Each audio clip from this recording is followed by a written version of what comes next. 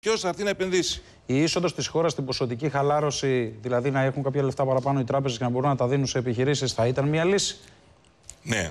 Θα ήταν μια λύση να υπάρχει Αλλά τραπεζικό θα έχουν προηγηθεί όλα αυτά που λες, ε; Μια λύση να υπάρχει τραπεζικό σύστημα. Στην Ελλάδα δεν υπάρχει τραπεζικό σύστημα και για να είμαστε δίκαιος, να, μα- να είμαι δίκαιος, ε, Γιάννη και Χρήστο, δεν υπάρχουν αντίστοιχες προτάσεις από πουθενά. Δηλαδή, είναι οι προτάσεις; Βγαίνει, ας πούμε, ο Κυριάκος Μητσοτάκης και λέει Θα μειώσω τους φόρους. Αρκεί αυτό μόνο; Αρκεί μόνο αυτό Για να ένα έρθει τέτοιο ανάπτυξη, μέτρο όχι; μόνο για να φέρει ανάπτυξη; Και από την άλλη πλευρά, όλοι οι άλλοι, και μεταξύ των οποίων είμαι και εγώ και προσπαθώ Νομίζω μερικές φορές είμαι και μοναχικός καβαλάρης να φτιάξουμε μια σύγχρονη κεντροαριστερά. Δεν υπάρχει πρόταση πάνω σε αυτό. Δεν υπάρχει πρόταση να τους πεις Ναι, έλα εδώ να μαλώσουμε μαζί τον Τσακαλώτο για το 3,5. Έλα εδώ να μαλώσουμε μαζί τον Τσακαλώτο για το μνημόνιο. Τι προτείνεις; Επιτέλους τελικά να μπούμε στην πραγματικότητα και να μην κλείνουμε τα μάτια. Πάντως, γιατί η- κάνουμε εύκολη, εύκολη αντιπολίτευση. Ε, όλοι. ένα από τα. Προφανώς κάνουν όλοι εύκολη αντιπολίτευση όλα τα χρόνια του μνημονίου. Αυτή είναι η πραγματικότητα. Αλλά εδώ έχουμε μπλέξει και με δύο φορομπήχτε. Δηλαδή, από τη μία έχουμε τη φορομπηχτική ελληνική κυβέρνηση, η οποία ε, Σωστά. εν πολλής πιστεύει, κάποια στελέχη της πιστεύουν στους φόρους, πιστεύουν από ιδεο- ιδεολογικά στους φόρους, και έχουμε φορομπήχτες και όλους τους υπόλοιπους απ' έξω, οι οποίοι στο, στην πρώτη δυσκολία δεν σου λένε κάνε εκείνο, κάνε αυτή τη μεταρρύθμιση, κάνε την άλλη. Φόρο σου λένε και αυτοί. Κόψε. Βγαίνει, δεν βγαίνει Ναι, ο ναι. φόρος φόρο. Ναι, πιστεύουν από ιδεολειψία. Γιατί φυσικά αριστερά δεν σημαίνει μόνο φόρους, σημαίνει κοινωνικό κράτος και σημαίνει και κράτος που μπορεί να κάνει ένα, ένα παιχνίδι και με, και με την οικονομία έτσι, και με την επιχειρηματικότητα και να παίζει και ρόλο στην ε, ρύθμιση της οικονομίας, αλλά και να κάνει και οικονομικές παρεμβάσεις. Και το έχει αποδείξει και η Σοσιαλδημοκρατία. Με επίκεντρο και, το αλλά και κράτος. σοσιαλ- Ναι. με επίκεντρο το κράτος. Οι περισσότεροι όμως, επειδή ξέρεις, είναι απο- και αποτέλεσμα του λαϊκισμού οι περισσότεροι πια που έχουν βγει από την αριστερά νομίζουν ότι όταν είσαι λαϊκιστής αριστερός, δεν είσαι αριστερός έτσι. Αριστερός όταν έχεις ένα σχέδιο βεβαίως με τη βοήθεια του κράτους. Έχει και η δεξιά αρκετούς λαϊκιστές. Αλλά εγώ δεν Λαϊκιστές θέλω όταν σας τώρα, μπλέξω σε αυτή τη λοιπόν. συζήτηση. Η σύγχρονη αριστερά θέλει μεγάλο κράτος. Είμαστε σύγχρονοι ότι η αριστερά του 2017 θέλει μεγάλο κράτος. Είναι αριστερά αυτό. Όταν έχουμε δει πια πώς λειτουργεί το κράτος, μήπως αυτό το μοντέλο Ε, έχει αριστερά είναι. αποτύχει. Γιατί όταν λένε υψηλούς φόρους, εγώ θα έλεγα πιο δίκαιους φόρους και όχι υψηλούς φόρους. Θα έλεγα δικαιοσύνη στους φόρους. Βεβαίως αυτός βγάζει περισσότερα λεφτά, να δίνει περισσότερα χρήματα. Βεβαίως το κράτος να υπάρχει, αλλά να υπάρχει σαν κράτος πρόνοιας. Να μην υπάρχει σαν κράτος επιχειρηματίας, να μην θεοποιούμε το κράτος ότι όλα μπορεί να το κάνει το κράτος. κράτος Γιατί τελικά ελεγκτής. δεν τα έκανε το Να κράτος σε ελέγχει στην το ιστορία. κράτος. Η ιστορία διδάσκει, Χριστό.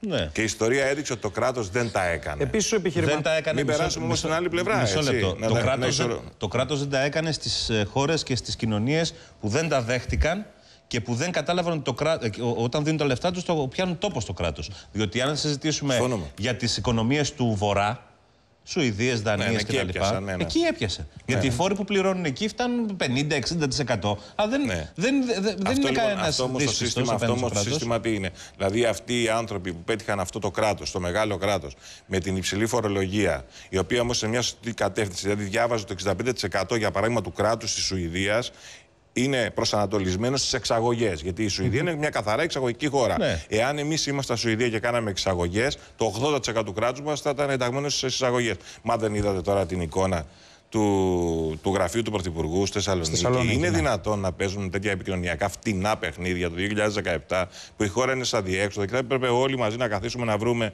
έναν τρόπο να βγούμε από την κρίση, να αντιμετωπίσουμε τη φτώχεια.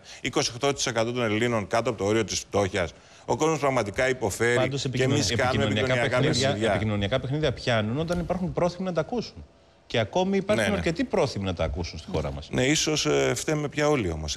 Θα πρέπει να Όλοι. λέμε τον Και κόσμο τα μέσα την ενημέρωσης. αλήθεια και να μην φοβόμαστε να τους πούμε την αλήθεια. Να τους μιλήσουμε ότι υπάρχει τεράστια φτωχοποίηση. Ο κόσμος υποφέρει. Εμείς εδώ στο Sky λοιπόν έχουμε μιλήσει και με τα, για τα σκάνδαλα. Έχουμε τολμήσει και έχουμε πει και για ολιγαρχία. Έχουμε πει και για λάθη όλων των κυβερνήσεων.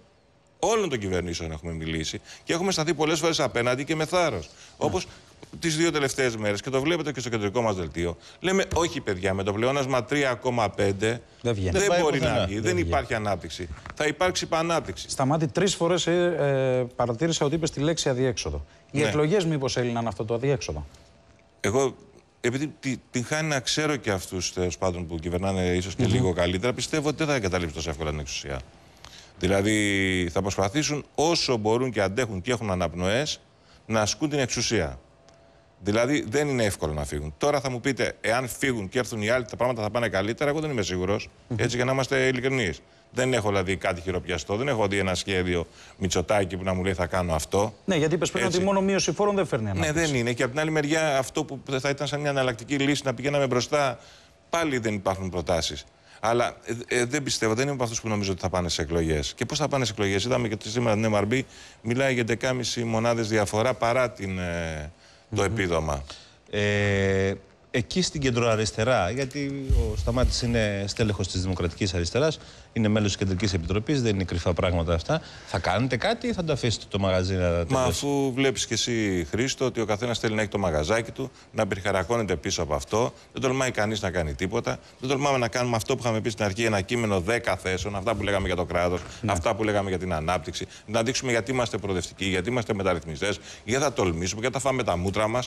Και αφού μαζευτούν όλοι μαζί, να κρυθούν από τον ίδιο τον κόσμο. Μήπως άλλος και από από το τον ίδιο χώρο τον λαό. Τσίπρας και δεν υπάρχει χώρος; Όχι, δεν νομίζω ότι ο Τσίπρας μπορεί να εκφράσει την ε, σύγχρονη σοσιαλδημοκρατία, την αριστερή όπως την τοποθετώ εγώ σοσιαλδημοκρατία.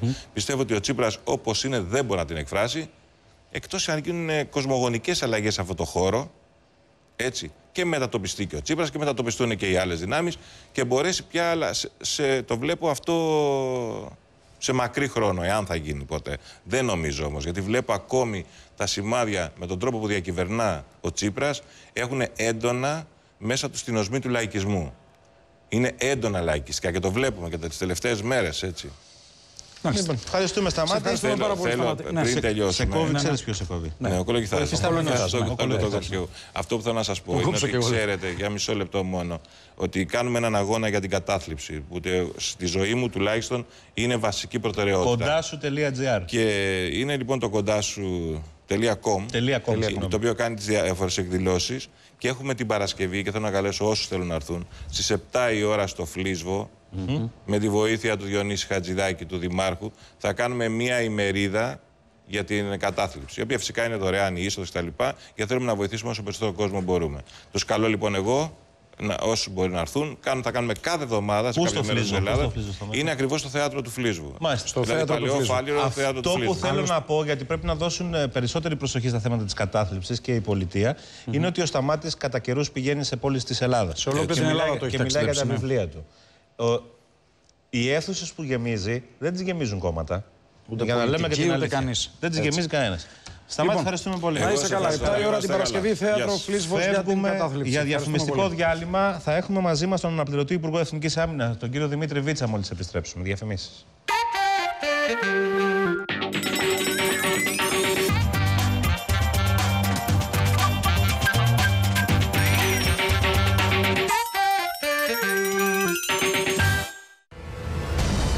Σήμερα στις προδοσίες Μάλλον δεν θα έρθει. η συνάντηση που δεν έγινε. Μπορεί να το μετάνιωσε. Μπορεί να του άλλαξε γνώμη ο γιος του. Δεν ξέρω. Ένα φάντασμα ξυπνά. Δεν είναι άνθρωπος του Πετκόφ.